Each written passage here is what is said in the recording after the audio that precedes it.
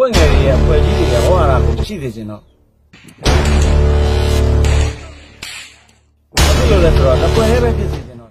ကဲရေဘော်လို့ကျွန်တော်ကတော့လူမြတ်ကျော်ဖြစ်ပါတယ်။တော်လိုင်းကတနေ့ခွဲကျော်နှစ်နှစ်နီးပါးရောက်ရှိလာပြီဖြစ်တဲ့အတွက်တပ်ပေါင်းစုတရက်လိုအပ်လာပြီလို့ပြောဆိုတာကြပါတယ်။ဒါတူနိုင်ငံရေးဥဆောင်မှုစီဥဆောင်မှုအခမ်းကဏ္ဍတွေကိုလည်းလိုအပ်ချက်တွေရှိနေပါတယ်လို့ ကြားသိနေရပါတယ်။ဒါဟာမှန်ပါတယ်။ပြန်ကျဲနေတဲ့အင်အားစုတွေကိုစုစည်းပြီးတော့တပ်ပေါင်းစုကြီးတရက်ဖွဲ့စည်းညီညွတ်တဲ့အင်အားစုနဲ့တော်လှန်ရေးကိုဆင်နွှဲ passive ကိုအနိုင်တိုက်နေလို့ဒီကနေ့တော့ဘုံနဂါကပြောချလိုက်ပါညီညီညွတ်ညွတ်နဲ့ပဲတပ်ပေါင်းစုညီညွတ်တဲ့စုဖွဲ့မှုမျိုးနဲ့ပဲသွားချင်ပါတော့လူသူပါဆိုပါဒါဟာတကယ် တော်လှန်ရေးအမြင်ရှိတယ်အညာကသူရဲကောင်းတယောက်ရဲ့စကားပါကျွန်တော်အညာကသူရဲကောင်းတယောက်ဖြစ်တဲ့ဘုံနဂါရဲ့ဗီဒီယိုဖိုင်လေးကိုဖွင့်မပြခင်လို့နော်ကျွန်တော်လက်ရှိတော်လိုင်းရေးအခြေအနေအရရဟာအချိန်ကြီးကြာလာတဲ့အမျှကျွန်တော်တို့ဒီဗတ်ပေါင်းစုံကနေရုံးကန်နေကြရပါတယ်အလူရှင်တွေကော PDF တွေရောတပိတ်မှောက်နေတဲ့လူတွေရောတော်လန်နေသူအလုံးဟာ ဗတ်ပေါင်းစုံကနေရုံးကန်နေကြရတယ်လို့ပြည်သူလူထုဟာလည်းတစ်နှစ်ကျော်ကြာလာတဲ့အချိန်ကာလမှာ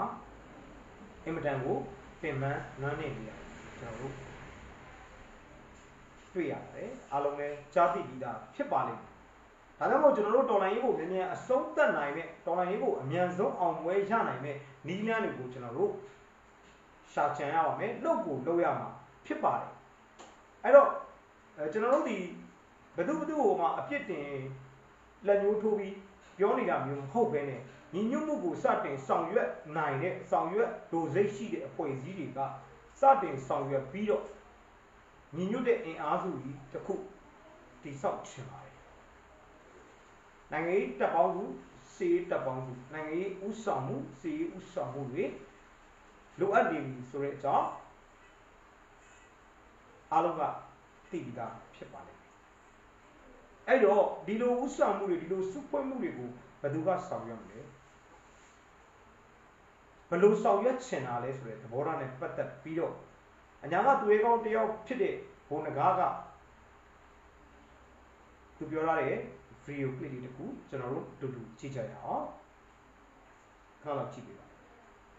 ဒါအညာကသူရဲကောင်းဘုံနဂါရဲ့ညီညွတ်ညီညွတ်လို့တဲ့တပ်ပေါင်းစုတစ်ခုရရှိလို့တဲ့ တော်လိုင်းသမားတယောက်ညီပင်ကတိုက်ပွဲဝင်နေတဲ့တော်လိုင်းသူရဲကောင်းတယောက်ရဲ့စကားသံစစ်စစ်ဖြစ်ပါတယ်ခဏကြည့်ပေးပါ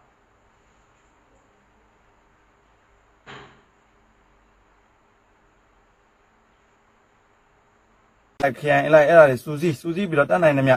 ထားပါတော့ EAO တွေလည်းသူ့ဟာနဲ့သူရှိနေတယ်လို့ local တွေလည်းမြန်မာတွေ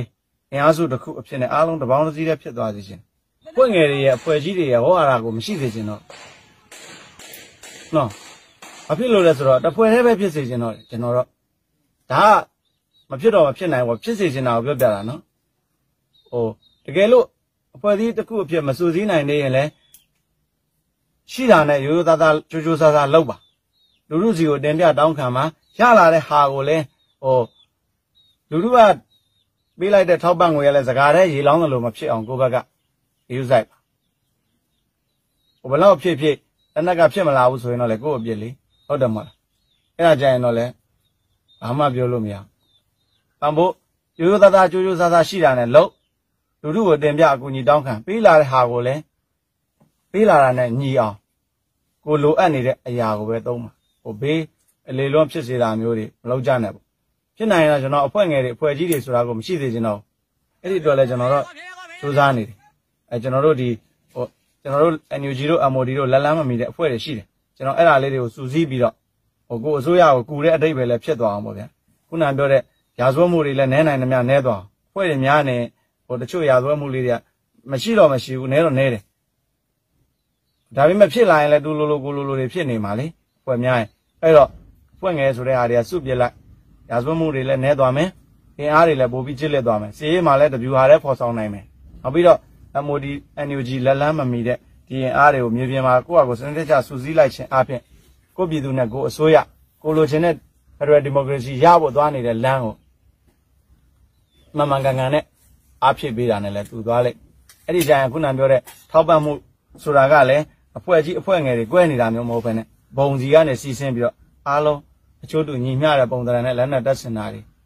ခွဲဝေတာတွေစီမံခန့်ခွဲတာတွေလုပ်လာနိုင်လိမ့်မယ် အဲ့တော့အဲ့ဒီအဖွဲ့ငယ်တွေကိုလည်းတစ်ခုပြောချင်ပါတယ်ကျွန်တော်တို့အဖွဲ့ငယ်လေးတွေမို့လို့မရပါဘူးဘာညာပြောနေမယ်အစားပူပေါင်းပါ